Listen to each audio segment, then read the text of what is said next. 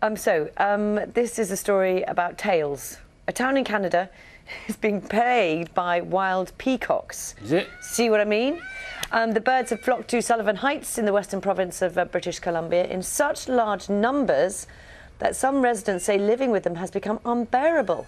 Authorities have tried to remove the peacocks, but locals say it is not working. Oh, look, peacock poo. And they do make that extraordinary, uh, we just heard it a little bit there, that sound, don't they? That's Yeah. a cawing, which is, It's shrill. it's sh- shrill, is Oh. absolutely the right word, Holly.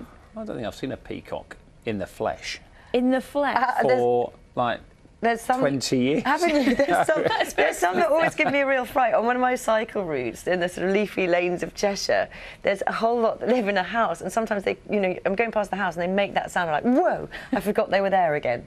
You have Yeah. a lot nicer running area than me. Yeah. It's pigeons I've got to worry about, not peacocks.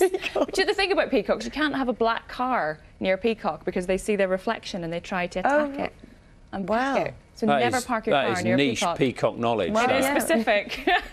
I won't go past them on my black bike either. yeah, exactly. you learn something new every day. Thank you for that, Holly. I've uh, never considered that would be an issue. Since I haven't seen a peacock in 20 years, it doesn't really matter that I've got Yeah, a black car. exactly. You'll be okay. You'll be safe then. The car will be safe.